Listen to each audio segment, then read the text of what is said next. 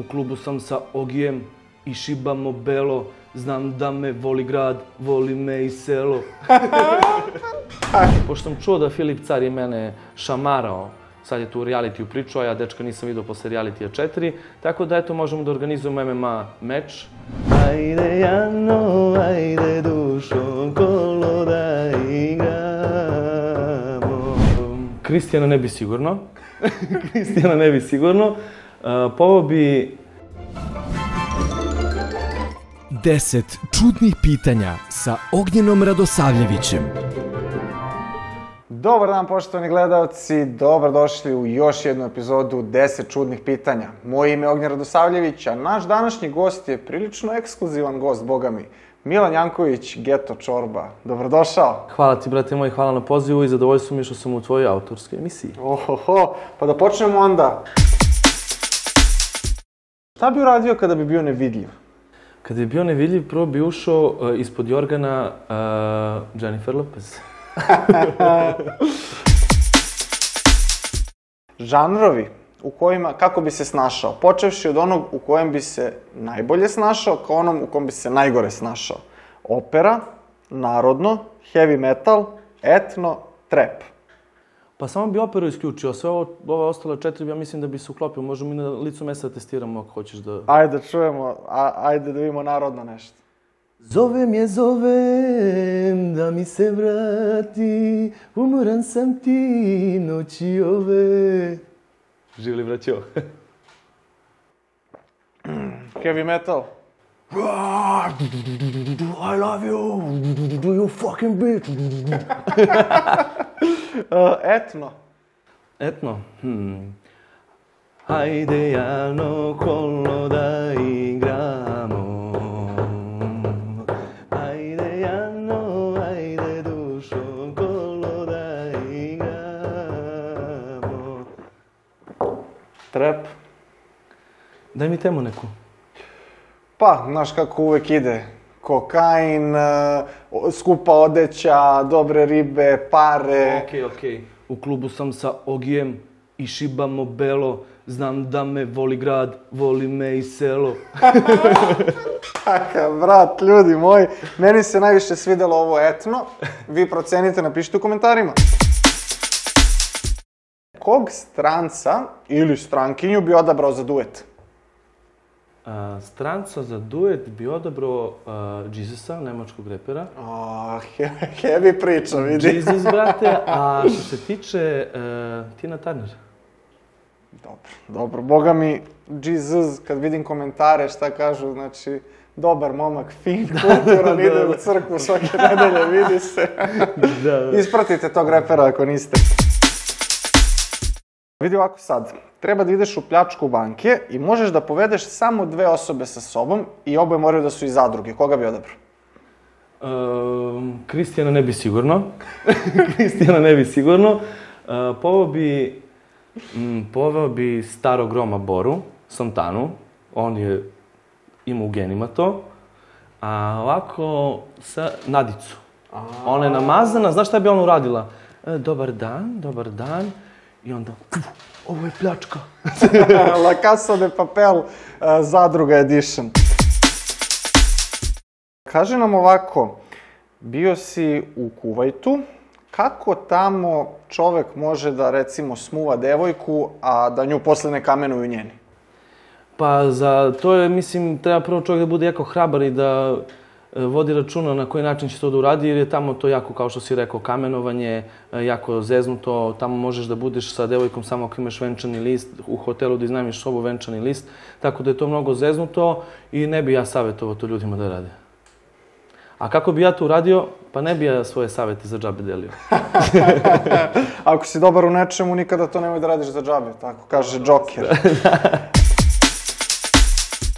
Kažu da put do muškog srca vodi preko stomaka. A kaži nam sad, kako si ti više impresionirao devojke? Kuvanjem ili pevanjem? Pa znaš kako, ja mislim da sam imao sreće da još kao mali sam imao interesovanje i za kuvanje i za pevanje, a uopšte nisam znao šta će to da mi donese u životu. Tako da, e, prvo otpevam, pa ako dobro ne prođem, onda nešto skuvam i 100% dobro prođem. Tu Tako nema da, greške. nema greške. Tako da što se toga tiče, treba ja savjetujem klincima da se bave ugostiteljstvom, kulinarstvom, to je jako dobro zanimanje, uvek dobro plaćeno, nikad neće biti gladni, mogu da napreduju, a mogu i da uzmu gitaru pa da malo pevaju po nešto. Kad smo već kod te teme, koje je najukusnije jelo po tvom mišljenju, a koje jelo je pa onako pomalo precenjeno? Evo ja bih rekao možda tartufi. Nisu loši, ali nisu sad baš toliko hit. Pa šta je, šta je onako po meni naj, najukusnije? Ja sam se uvek vodio time da naša kulturna i tradicionalna jela koje se kroz istoriju spremaju, to su ta neka jela koja bi ja uvek stavio na prvo mesto, jer to po meni ima i duha i kad saznaš nešto o tom jelu, onda ti to neku veću draž stvara i, i veću ljubav imaš prema tome. Tako da bi ja uh, odvojio nešto na kostu dole što spremamo, to je prženica, to se tako kod nas zove, neko bi sad pomislio neko testo, neke prženice, nešto od hleba, u stvari to se sprema sa, sa uh, svinskom glavom, tu se kuvaju kosti, to se posle uzima meso sa prazilukom, sa tucanom paprikom i to su u kazanu gde su se pekli čvarci, dugo, dugo prži, to bude jako ukusno. Volao bih da probam, to nadam se da će biti prilike. Nadam se da ćete biti gosti kod mene na Kosovu, pa ću ja da vam to organizujem. Koga bi odabrao da ti bude trener u nekom MMA meču i sa kim bi volao da se Kome bi volao da se suprotstaviš? S kim da se nađeš oči u oči? Pa što se tiče trenera, izabrao bi svog ćaleta, pošto je moj ćale bio e, profesionalni judista i ulični fajter, tako da bi se savjetovao s njim i mm, trenirao bi s njim. A što se tiče koga bi volao, pa evo ja ću sad još jednom javno da kažem, pošto sam čuo da Filip Car je mene šamarao sad je tu reality u priču, a ja dečka nisam vidio posle reality 4, tako da eto možemo da organizujemo MMA meč, sportski, čisto malo da se ispoštujemo kao dva muškarca. Muški. Kad smo već kod tih lovačkih priča, dosta si vremena proveo sa njim. Da li su Kristijanove priče lovačke ili ima tu istine? Pa znaš kako, mislim, u, u svakoj laži ima malo istine.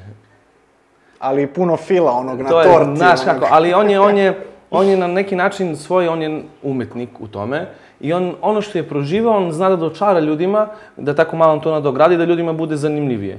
Tako da verujem da ima istine u nekim pričama, a verujem da je i tu uvatilo maha, pa posle kad je vidio da to ljudi gotivaju, onda i mogu malo da da sebi prostor, da bude ovako malo da ima inspiraciju kreativno, pa da izmisli po nešto kako je, na primjer, ušio zmiju e, na putu kad je video. Poslednje pitanje za ovaj segment, pa idemo dalje. Ima li života posle smrti? Pa ja mislim da ima, brate. Ja mislim, meni su jedan put rekli da pravi džukac na ulici kad umre postane pitbull. Pređe u kjera, tako da ja verujem da će biti neki pitbull. Vreme je onda da pređemo na sledeći segment ili ili.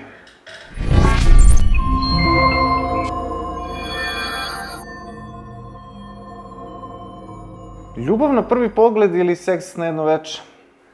Pa ljubav na prvi pogled. Ređe se dešava. Ređi se dešava, brate, upravo to. Uh, Partizan ili Zvezda?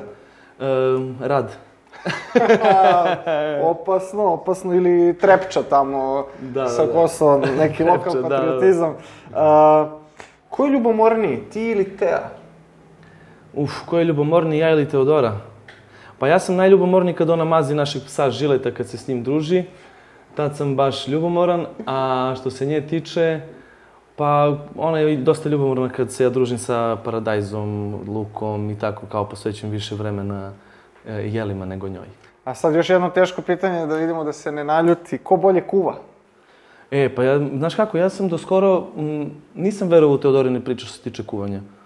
Ali kad je rekla da više tu nema smisla, da ona stvarno mora da pokaže kako ona kuva, e, onda sam se oduševio. Skoro sam, e, mislim, stalno jedem pileću supu sa pečenim susom, što sam prvi put probao od nje.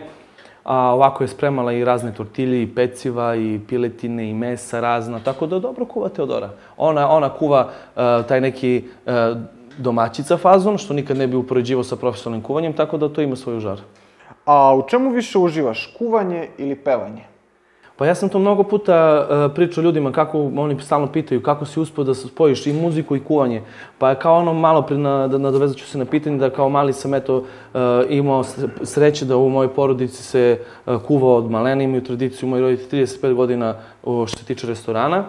Kasnije sam zavolao riblju čorbu, krenuo da pevam i onda kroz odrastanje sam krenuo da se bavim kuvanjem i pevanjem profesionalno, tako da nikad ta dva ne bi odvojio, jer je motivacija kad sam u kuhinji, meni muzika daje mi energiju da izdržim dan, da radim možda i po 12 sati, a kad treba da se uloži u muziku, tu mi pomaže kuvanje. Onda je vreme da pređemo i na naš posljednji segment. Da li bi radio?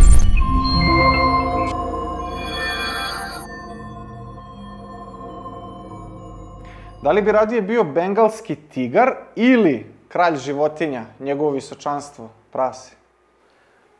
Joj, tu sam te čekao. brate, ja se izvinjavam ljudi, mo, za sad, za sad je ovakva situacija. Za sad je ovakva situacija. Ja ću ovako da pokažem. Za sad je ovakva situacija što se tiče praseti i svega toga, ali boga mi bengalski tigar je dobro prošao, tako da postoji mogućnosti da ću da se prekvalifikujem. Bengalsko prase To neko. bengalsko prase. Da li bi radije, pazi sad ovo, čerečio po zadruzi ili uživao u mirnom i skladnom životu? Pa pre bi uživao u mirnom i skladnom životu, jer to čerečenje mi baš nije donelo uh, lepih stvari, komentara, osude. Tako da, bolje Žikina dinastija, brate moj, idi mi dođi, da ili žile da mazi. se mazi i miran i skladan život. Tebe. E, Da li bi radije ostao na Kosovu i Metohiji ili došao u neku metropolu, ne znam, Beograd ili čak van Srbije?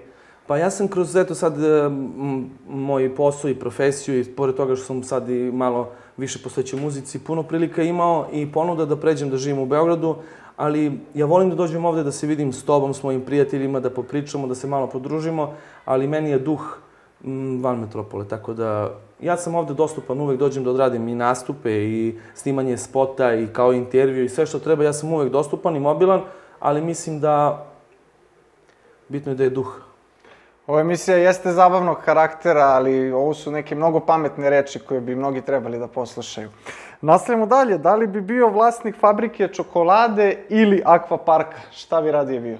Uf, sa Teodorom sam bio na odmoru u Turskoj, brate, i prvi put sam se zezao u Aqua Parku, brate, znaš ti šta je to bilo. Ali znaš šta mi je sad palo na pamet?